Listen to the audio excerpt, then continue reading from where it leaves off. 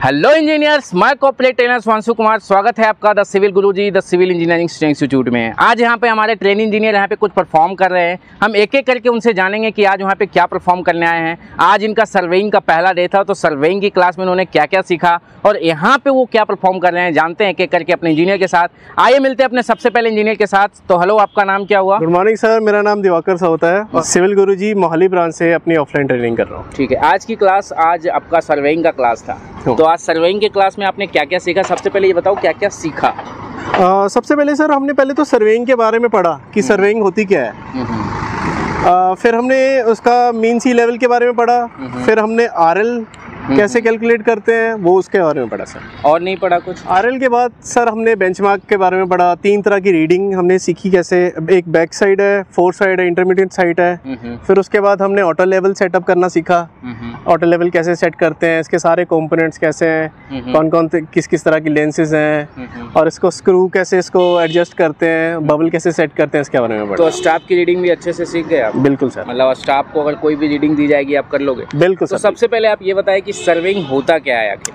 Surveying में अगर आसान भाषा में अगर इसको समझें तो किसी भी चीज़ का डाटा कलेक्शन। जैसे हम कॉलेज जाते हैं कॉलेज जाने से पहले हम सर्वे करते हैं कि वहाँ का स्टाफ कैसा है वहाँ की प्लेसमेंट कितनी अच्छी है वहाँ का हॉस्टल लाइफ कैसा है वहाँ की अ, खाना कैसा है ये सब चीज़ें जब हम करते हैं आम भाषा में इसको सर्वेइंग बोलते हैं। ठीक है। इसको अगर हम टेक्निकल भाषा में सिविल इंजीनियरिंग की भाषा में कहें तो जितने भी जब हम कोई भी मैप बनाने से पहले हम उसकी एक एरिया की डाटा कलेक्शन करते हैं। हम्म, हम्म, अर्थ के अबव हो चाहे अर्थ के बिलो हो। हम्म, हम्म, उसमें जैसे हमने एलिवेशन निकालनी है हम्म। किसी तरह की मेज़रमेंट निकालनी है स्लोप निकालना है हम्म, वो निकालने के लिए हमें एक प्रॉपर सर्वेइंग करनी पड़ती है। इसमें इनडायरेक्ट और डायरेक्ट मेथड दो तरह तरीके से हम तो इसमें एक्चुअली क्या है डायरेक्शन एलिवेशन और डिस्टेंस का बिल्कुल सर बिल्कुल सर। तो आपने मीन सी लेवल के बारे में पढ़ा होगा। क्या होता है mean sea level mean sea level जब हम सी की लेवल देखते हैं हम्म। तो हम देखते हैं कि एक हाई टाइड होती है एक लो टाइड होती है।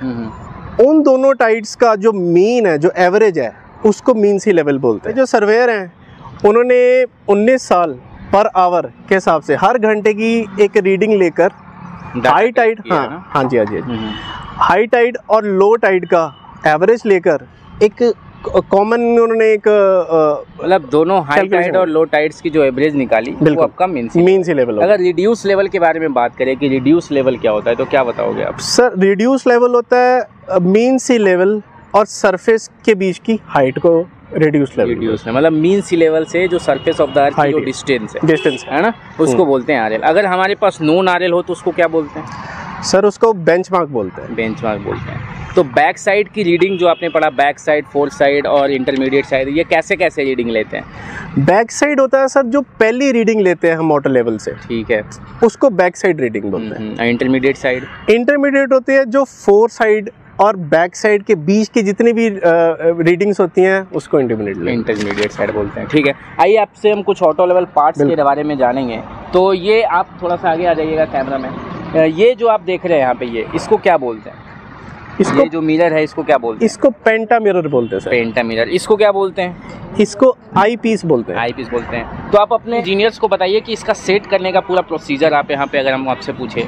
कि इसको कैसे सेट करते हैं? तो स्टार्टिंग से बताइए ट्राईपोर्ट सेट करने से लेके ये तक कैसे क्या करते हैं? थोड़ा सामने आ जाओ आप। ट्राईपोर्ट स्टैंड को स्क्रू से खोल के हम्म, हम्म, इसको लूज करके इसको अपने चेस्ट हाइट तक रखना है। ठीक है।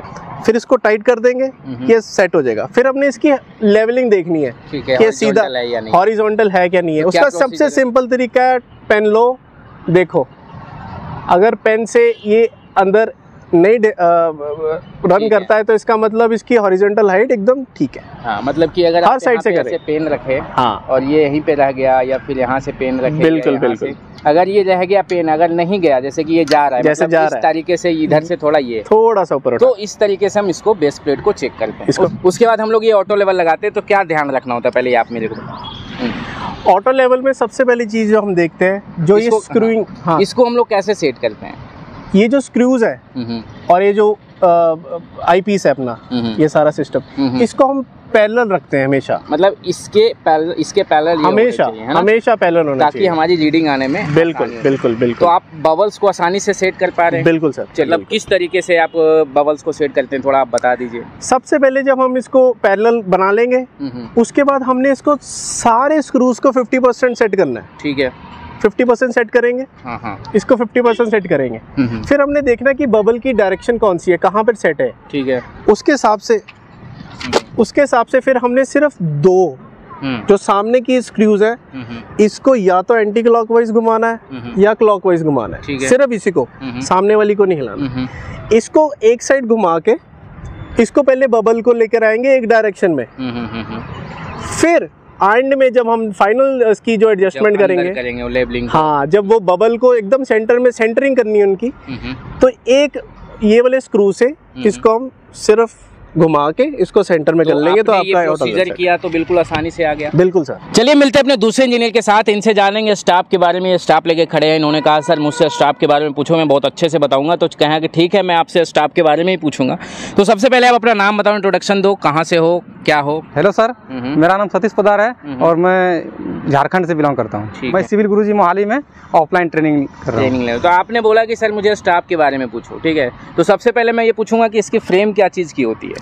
इसका फ- ये इसका फ्रेम जो होता है सर एल्युमिनियम का होता है। क्यों? एल्युमिनियम का क्यों बनाते हैं? लोहा लकड़ी का क्यों नहीं देते हैं? लकड़ी का क्यों नहीं बनाते हैं इसके? अच्छा हम लोग जो इनका मतलब रीडिंग लेते हैं ना सर हम्म। तो कभी वाटर में जाना पड़ता है कभी नाले में जाना पड़ता है है। तो अगर लकड़ी का इनका बनाएँगे स्टाफ हम्म। तो अगर नीचे से वो सड़ जाएगा। हम्म, तो फिर- जाएगा तो वो फिर एक्सपांड हो जाएगा रीडिंग हम्म। जिसकी वजह से दिक्कत होगी। लोहा का क्यों नहीं बनाते? लोहा का उसमें सर कोरिजन का चांसेस ज़्यादा रहता है तो अगर कोरिजन हो जाएगा तो उनका वेट एक्सपांड कर जाएगा।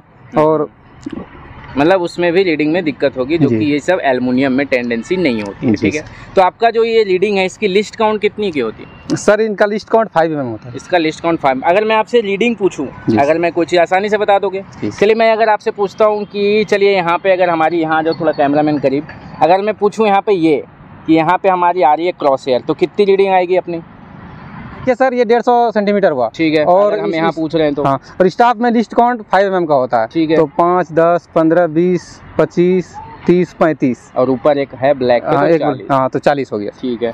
तो अगर हम डायरेक्ट अगर ऐसे भी जोड़ सकते हैं दस बीस तीस चालीस ब्लैक ब्लैक को जी सर। जोड़ सकते हैं? जी सर। जी सर। ठीक है तो अगर ये चालीस आई तो रीडिंग अगर एम में पूछे तो कितना होगा? एम एम हो गया पंद्रह सौ चालीस एम एम पंद्रह सौ चालीस एम सेंटीमीटर में पूछे तो? सेंटीमीटर में एक सौ चौवन सेंटीमीटर। एक सौ चौवन सेंटीमीटर। और अगर मीटर में पूछे तो? One point five four. One point तो आप भी अगर इसी तरीके से ऑफलाइन ट्रेनिंग लेना चाहते हैं क्योंकि भाई इंडस्ट्री में आपका सिर्फ़ लोग पैर खींचने वाला है हाथ उठा के आपको आगे बढ़ाने वाला है नहीं। तो आपको स्किल्स सीखना बहुत ज़रूरी है। जो भी अनस्किल्ड इंजीनियर है जो भी फ्रेशर इंजीनियर है अगर उनको इस तरीके की स्किल्स की कमी है तो आपका मोस्ट वेलकम है सिविल गुरु जी में। मैं खड़ा हूँ आपके शहर मोहाली में। आप जो भी अगर जम्मू कश्मीर से हैं, हरियाणा से हैं, पंजाब से हैं, जहाँ से भी आप नज़दीकी क्षेत्र में हैं, मोहाली से अगर आप ट्रेनिंग लेना चाहते हैं तो नीचे दिए गए dashboard number nine triple one double zero one two three four पर कॉल करें और इससे रिगार्डिंग जितनी भी डिटेल है, आप वहाँ पे ले सकते हैं। मैं आपको वीडियो के डिस्क्रिप्शन में भी डाल दूँगा एडमिशन लिंक और रजिस्ट्रेशन लिंक वहाँ से भी आप डायरेक्ट जाके अपने सीट को इनरोल कर सकते हैं। तब तक के लिए मुझे इजाज़त दीजिए। जय हिंद, जय भारत।